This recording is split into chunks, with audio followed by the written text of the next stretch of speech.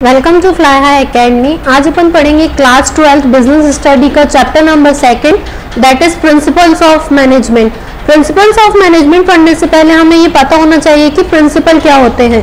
आइए देख लेते हैं अपन प्रिंसिपल क्या होते हैं।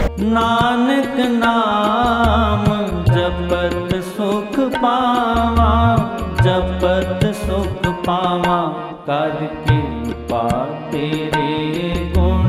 A principle refer to a fundamental truth principle एक फंडामेंटल ट्रूथ होते हैं। They serve as guide to thought and और जो हमें गाइड करते हैं कि थॉट और एक्शन प्रोसेस कैसी होनी चाहिए। इसके बाद हम देख लेते हैं प्रिंसिपल्स ऑफ़ मैनेजमेंट क्या होता है। Principle of management is a broad and general guideline ये एक ब्रॉड एंड जनरल गाइडलाइंस होती हैं।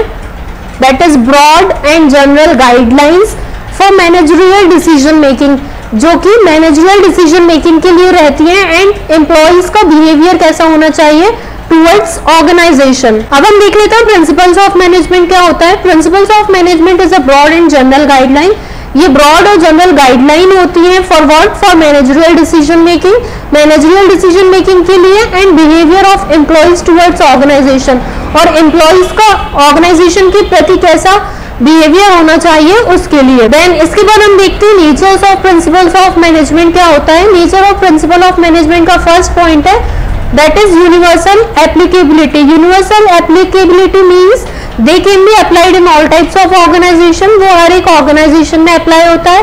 Business as well as non business चाहे वो ऑर्गेनाइजेशन बिज़नेस हो, चाहे नॉन बिज़नेस हो। Small as well as large चाहे वो छोटी हो, चाहे वो बड़ी हो। Second point is general guideline general guideline का मतलब ये है कि ये सिर्फ़ एक गाइडलाइंस प्रोवाइड करते हैं कि कैसे एक्शंस और डिसीजंस हम ले सकते हैं। लेकिन ये कभी भी रेडीमेड सॉल्यूशन नहीं होता, क्योंकि बिज़नेस एनवायरमेंट चेंज होता रहता है और वी कैन से कि बिज़नेस एनवायरनमेंट बहुत ही डायनेमिक रहता है। इसीलिए ये सिर्फ़ एक गाइडलाइन होती है रेडीमेड सॉल्यूशन नहीं होता। Then the world is formed by practice and experimentation they are developed after through research work on the basis of experience of manager इसका मतलब ये है कि ये जो principles हैं वो बहुत रिसर्च वर्क के बाद बहुत एक्सपेरिमेंटेशन के बाद ही फॉर्म किए जाते हैं then fourth is flexible flexible का मतलब ये है कि ये रिजिड नहीं होते हैं ये मॉडिफाई हो जाते हैं according to situations these principles can be modified then fifth is mainly behavioral since the principle aim at influencing complex human behavior they are behaviour in nature जैसे कि हम जानते हैं कि जो ह्यूमन बिहेवियर होता है वो बहुत ही कॉम्प्लेक्स होता है तो ये जो प्रिंसिपल है, ये उनको इन्फ्लुएंस करने के लिए बनाए गए हैं। Then last is cause and effect relationship जितने भी ये प्रिंसिपल्स हैं, वो कॉज एंड इफ़ेक्ट रिलेशनशिप के ऊपर बेस्ड होते हैं। अब हम देख लेते हैं significance of principle of management क्या होता है। सिग्निफिकेंस को हम इम्पोर्टेंस ऑफ़ मैनेजमेंट भी बोलते हैं।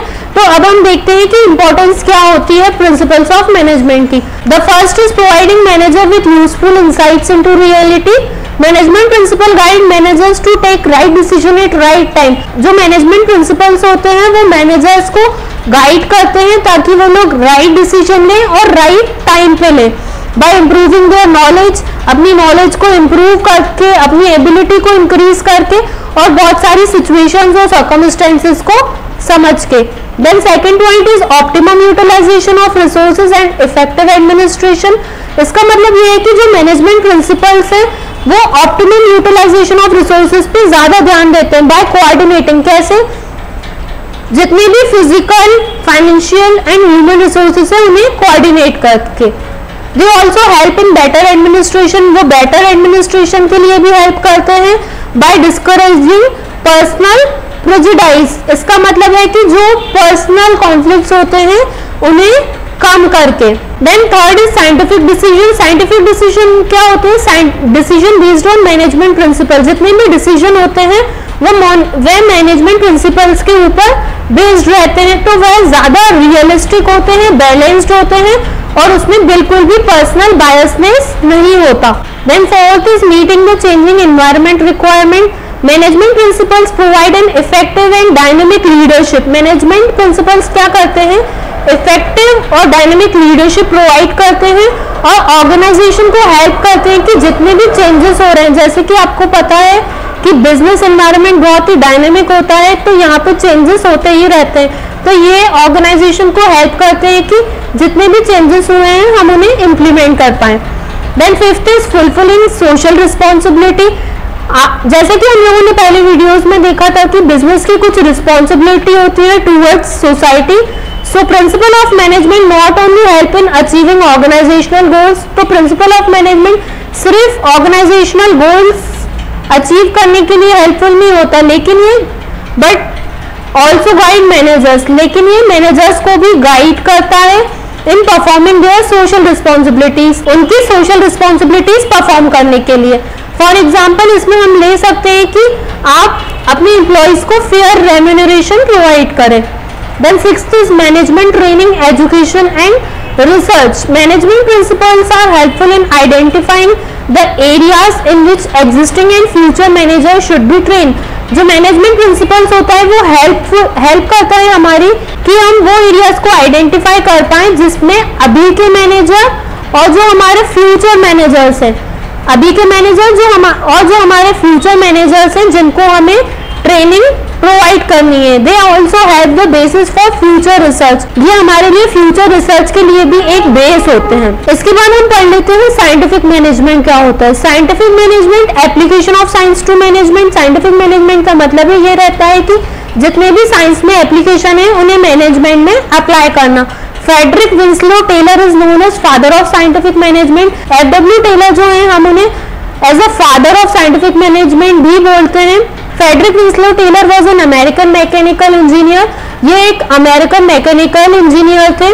He broke up human activity into small parts and find out how it could be done effectively in less time with increase productivity इनका कहने का मतलब ये था, जितनी भी ह्यूमन एक्टिविटीज़ हैं, आप उन्हें कुछ पार्ट्स में डिवाइड कर दीजिए अलग अलग पार्ट्स में डिवाइड कर दीजिए और आप ये सॉल्यूशन निकालिए कि आप उसे कैसे इफेक्टिवली कर सकते हैं और कम टाइम में कर सकते हैं, जिससे प्रोडक्टिविटी भी इंक्रीज हो। आइए अगर इनकी डेफिनेशन देख लेते हैं कि टेलर क्या बोलते थे।